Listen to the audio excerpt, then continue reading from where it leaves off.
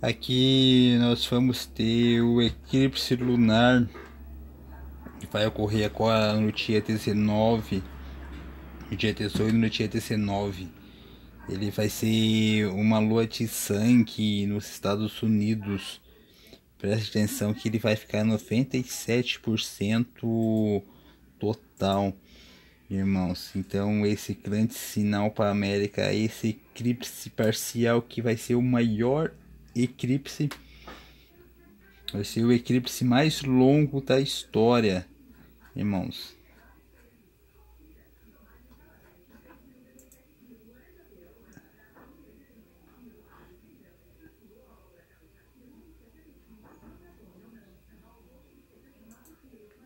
Aqui você pode acompanhar a animação do site Time and Data.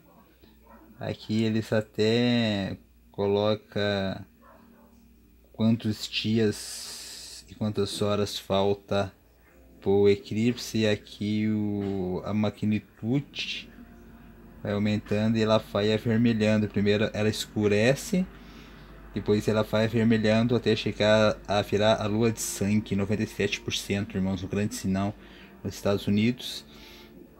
Aqui você pode ver a região onde ela vai ser visível.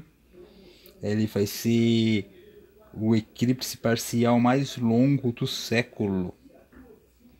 Irmãos, o eclipse parcial mais longo do século vai ser parcial aqui no Brasil. Até para ficar um pouco avermelhada, irmãos, na madrugada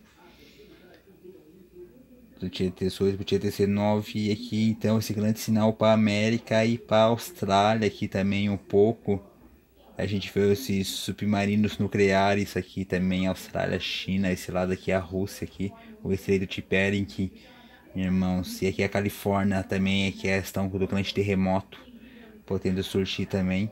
Então prestamos atenção, esse eclipse, praticamente uma lua de sangue visível na região novamente, o Havaí, irmãos também. Então cuidemos. E como eu tinha falado, esse eclipse vai ser o eclipse mais o eclipse parcial mais longo do século.